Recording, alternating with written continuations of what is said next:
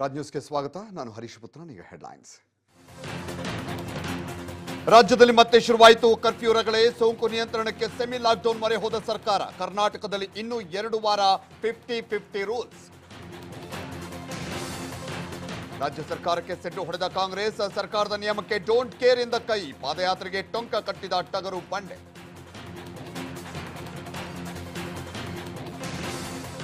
ಗಣಿನಾಡು ಬಳ್ಳಾರಿಯಲ್ಲಿ ಕೊರೋನಾ ಸ್ಫೋಟ. ಇಪ್ಪತ್ತೊಂದು ವೈದ್ಯಕೀಯ ವಿದ್ಯಾರ್ಥಿಗಳಿಗೆ ವಕ್ಕರಿಸಿದ ಸೋಂಕು. ಇತ್ತ ದೇವನಹಳ್ಳಿ ಏರ್ಪೋರ್ಟ್ನಲ್ಲಿ ನಿಲ್ಲದ ವಿದೇಶಿಗರ ಕಾಟ.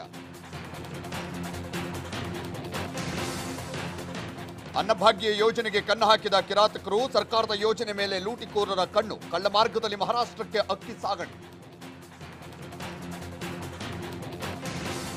ಚೆಸ್ಕಾಂ ಅಧಿಕಾರಿ ಮುನಿ ಗೋಪಾಲ್ ರಾಜ ದರ್ಬಾರ್. ಆದೇಶ ಲೆಕ್ಕಕ್ಕಿಲ್ಲ ನಿಯಮಗಳಿಗೂ ಕ್ಯಾರೆ ಎನ್ನಲ್ಲ. ಅನಧಿಕೃತವಾಗಿ ಲೈಸೆನ್ಸ್ ಪಡೆದು ಕೆಲಸ.